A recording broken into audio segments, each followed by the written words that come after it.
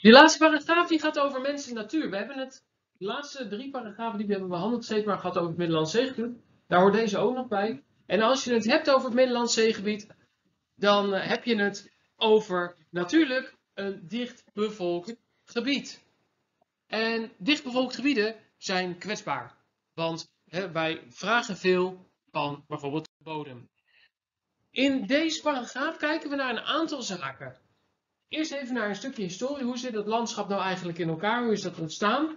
Maar vervolgens gaan we kijken naar de invloed van de natuur op veranderingen in het landschap.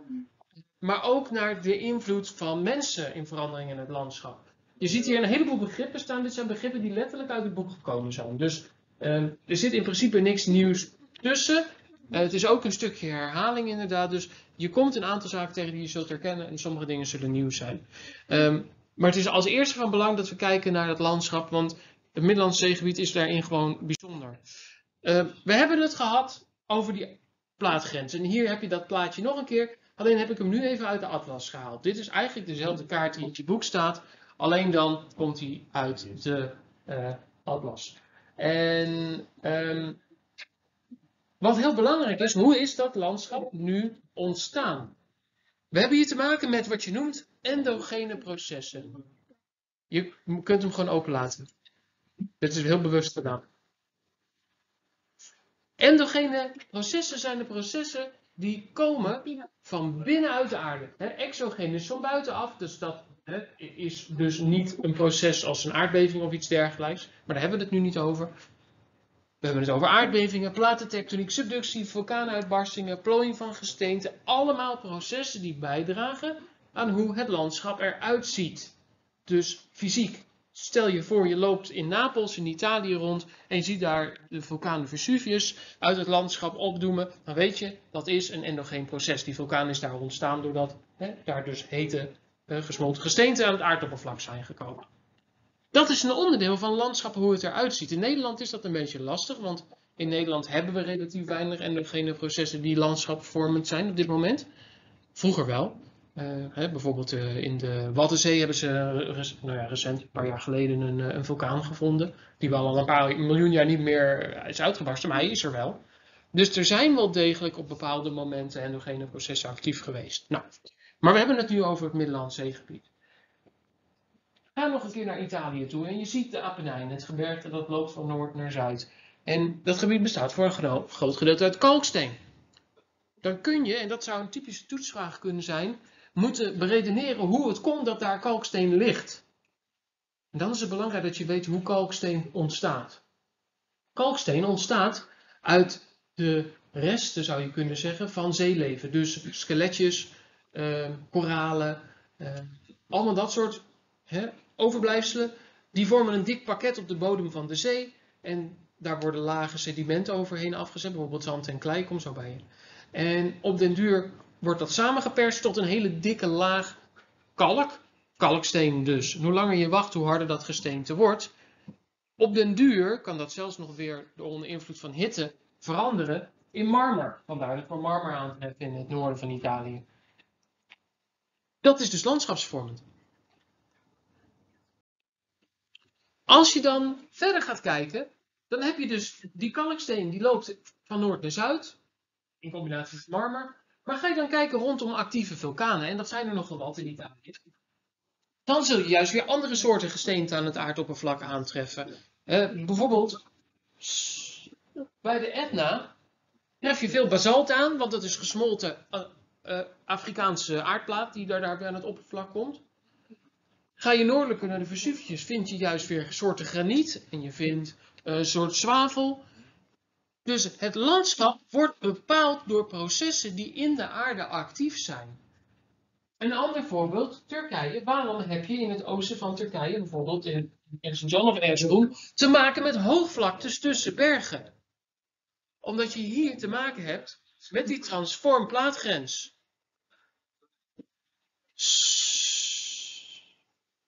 Die daar weer zorgt voor plooiing. Omdat er veel kracht uitgeoefend wordt op het hele aardproces.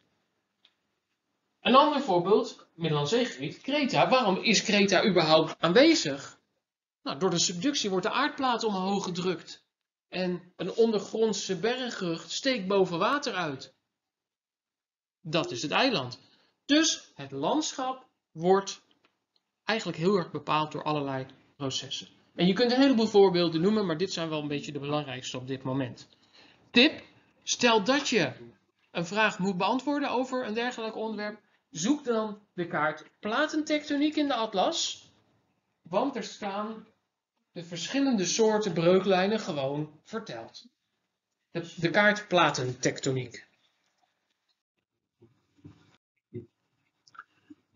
Aan de andere kant heb je processen die ervoor zorgen dat het door de aarde ont, ontstane gebergten of vulkanen of anderszins weer verdwijnen.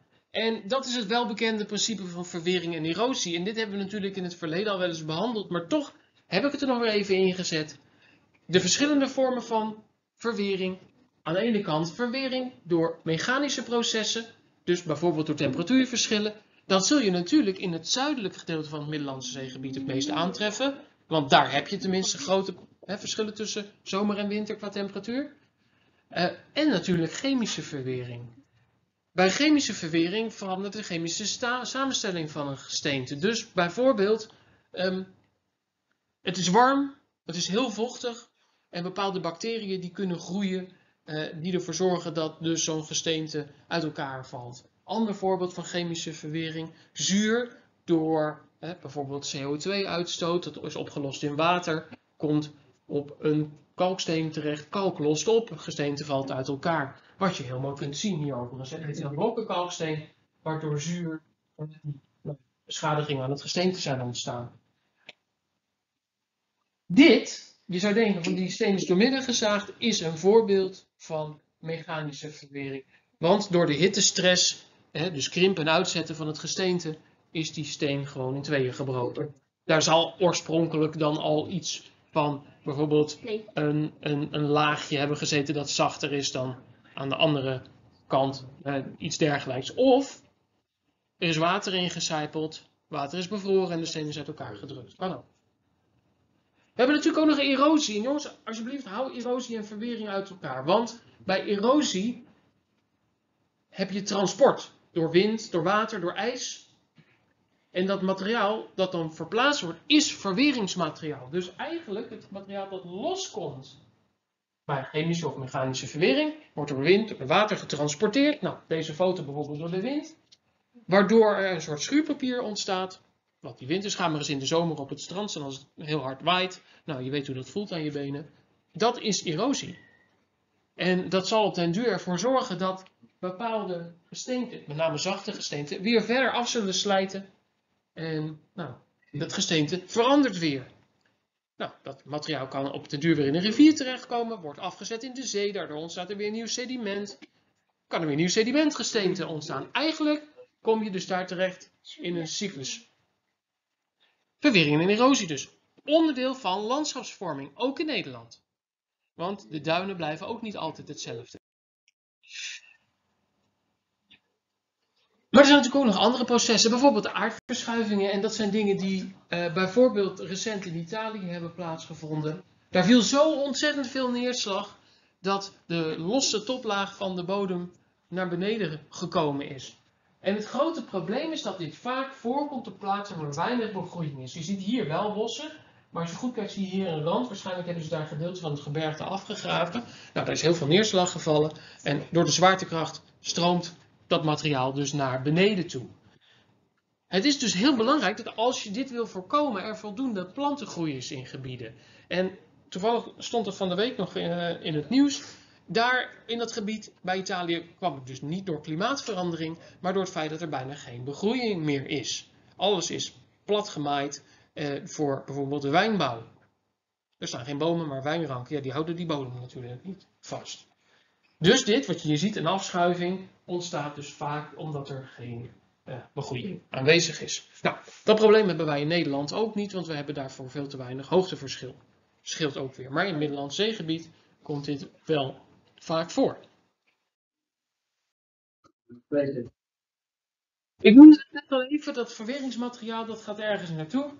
En op een gegeven ogenblik zal dat verweringsmateriaal dat door de wind of door water of door ijs getransporteerd is ergens terechtkomen. Belangrijk, dit is het principe van sedimentatie. Hoe zwaarder het stukje sediment, hoe eerder het naar de bodem zal zakken. Dus grote keien zullen als eerste naar de bodem zakken en de kleinste kleideeltjes als allerlaatste. Je kunt je dus voorstellen dat, je ziet hier hunebed, die stenen zijn door ijs naar Nederland getransporteerd. Dat dat ijs dus heel krachtig moet zijn geweest. Hè? Gemiddeld zo'n 200 meter hoog, dat ijs. Kun je ook bijna niet voorstellen. Uh, om dergelijke enorme rotsblokken mee te nemen. Die kleideeltjes zijn natuurlijk veel lichter, die worden veel verder afgezet en die zouden uiteindelijk wel in de Noordzee of dergelijks terecht gekomen kunnen zijn. Um, dus onthoud in dit geval gewoon groter het sediment, hoe groter het deeltje van het sediment, hoe eerder het zal zijn afgezet. Dat geldt natuurlijk ook in rivieren. Bovenin de rivier heb je de grote blokken en onderin heb je de kleinste deeltjes. Zo simpel is het. Dit is nog steeds het gevolg van verwering en erosie. Dus we zijn nog steeds bezig met hè, het principe van landschapsvorming, maar dan door bijvoorbeeld het stromen van water. Of in dit geval door sedimentatie. Ook plantengroei kan invloed hebben op de bodem. En je ziet hier een doorsnede, dit is wel in Nederland toevallig. Je kijkt hier naar uh, kalksteen dat je in het zuiden van Nederland aantreft. En boomwortels kunnen door holtes in gesteente uh, ook voor schade zorgen. Bijvoorbeeld boomwortels zoeken mineralen. Nou, in kalksteen zouden mineralen kunnen zitten. Boomwortel gaat naar beneden, maar hoe ouder de boom wordt, hoe dikker de wortel wordt. Wat gebeurt er? De wortel zet uit. En daardoor kan die grond uit elkaar gedrukt worden. Als die boom nou weg zou zijn, dan heb je hier ineens te maken met allerlei los materiaal. En dan zou dus wel die vruchtbare toplaag kunnen wegspoelen. Ehm, maar goed, in Nederland hebben we dus eigenlijk alleen in Limburg wat heuvels. En daar zou dit technisch gezien kunnen ontstaan. Uh, misschien herinner je je nog, in de zomer van 2021 was er enorm veel neerslag gevallen in het stroomgebied van de Maas, maar dan zeg maar over de grens in Duitsland en in België. En daar kwam al het water razendsnel naar beneden. En dat werd afgevoerd door de Maas, maar met name door de Geul, de rivier de Geul in, uh, in Limburg. Die daardoor dus prompt uh, overstroomde. En dat had dus alles te maken met het feit dat dat water uh, van plaatsen kwam waar het niet werd vastgehouden door de bodem. Hier zie je daar wat voorbeeldjes van. Ziet in weiland is heel duidelijk dat het water altijd dezelfde route kiest. En op den duur zou het ervoor kunnen zorgen dat dus grote gedeelte van die toplaag wegspoelen. Hadden daar bomen gestaan, was er niks aan de hand geweest. Um, erosie noem je dit. Dat begrip is op zich niet zo heel belangrijk, maar ik wil het je wel hebben laten zien. En dan heb je in ieder geval een beeld. We gaan rustig verder. Dan komen we bij iets terecht wat wel heel erg speelt in het Middellandse zeegebied. Verwoestijning. Misschien hebben jullie wel eens gehoord van het begrip uh, de Sahara steekt over. De Sahara is natuurlijk een groot woestijngebied dat net aan de zuidzijde van het Middellandse zeegebied ligt. En op den duur zou het kunnen zijn dat bijvoorbeeld Spanje, wat al heel erg vatbaar is voor verwoestijning, uh, woestijn, een, uh, een woestijn wordt. En dat kan ontstaan op verschillende manieren. Allereerst, het grootste probleem is vaak verzilting. Hè, door overmatige irrigatie uh, nou ja, blijft zout achter. Planten gaan uh, dood, want die kunnen niet tegen dat zout. Dus de bodem die raakt onbegroeid. Je ziet hier ook die boom staan. Nou, die heeft het niet gered. Um, dan verdwijnen die bomen, loopt de temperatuur op. Hè. Denk even aan het feit dat bomen normaal gesproken waterverdamping, uh, verdampen. Dat water Hè, dat zorgt voor verkoeling, maar helaas, dat is nu dus weg. Exact, je kunt het vergelijken met dus, hè, een gebied waar dus weinig begroeiing is. Uh, uiteindelijk zal dus hitte en droogte toenemen. Dan heb je de wind vrij spel, vruchtbare toplaag die er nog was, wordt weggeblazen. En op den duur krijg je dus badlands, ofwel woestijnen. Hè, dat begrip badlands heb ik natuurlijk eerder al laten zien. En dit proces gaat veel te snel eigenlijk in het zuiden van Spanje op dit moment. En dat heeft alles te maken met het feit dat we daar veel meer water verbruiken dan dat er water bij komt. Dus daar heb je wat je noemt een negatieve waterbalans. Een negatieve waterbalans. Nou, hoe zouden ze dat beter kunnen doen? Irrigatie. Nou ja, als je stopt met irrigatie, dan verdroogt de bodem ook. Je zult moeten irrigeren. Maar deze manier zorgt ervoor dat je dus heel erg veel zout eh, achterlaat. Want dit water dat verdampt zout en het water blijft erachter. Uh, wat we hier in Flevoland doen, dat is eigenlijk ook verkeerd. Daar heb je die grote sproeiers staan die heel veel water over een groter landschap uit ja, sproeien letterlijk. Uh, maar ik ga ervan uit dat 50% van dat water al verdampt is voordat het überhaupt de bodem bereikt. Dit is een betere vorm, druppelirrigatie. Daarbij druppel je dus precies de benodigde hoeveelheid water per plant. En daardoor voorkom je dus dat die planten doodgaan en er, uh, door verzilting. En dus zal de kans op verwoesting ook kleiner zijn. Dus, als we het hebben over Middellandse zeegebied, dan is het van belang dat je weet dat hier de processen van verwering en erosie en irrigatie een heel belangrijke rol spelen in de verandering van het landschap. Dus dat is aan de ene kant de rol van de mens met kappen van bomen en dergelijke, maar anderszins ook een natuurlijk proces, want wind, water en dergelijke heb je natuurlijk altijd, die weer kunnen zorgen voor uh, erosie dan wel verwering voorafgaand. Goed, tot zover. Ja, het lijkt veel, maar het valt mee. Um, essentieel dus, onthoud die kaart van die platentectoniek. Die kun je altijd gebruiken als je iets moet zeggen over waarom er ergens een gebergte ligt, waarom er ergens een vulkaan ligt. En onthoud in ieder geval die begrippen verwering en erosie. Kan nooit kwaad.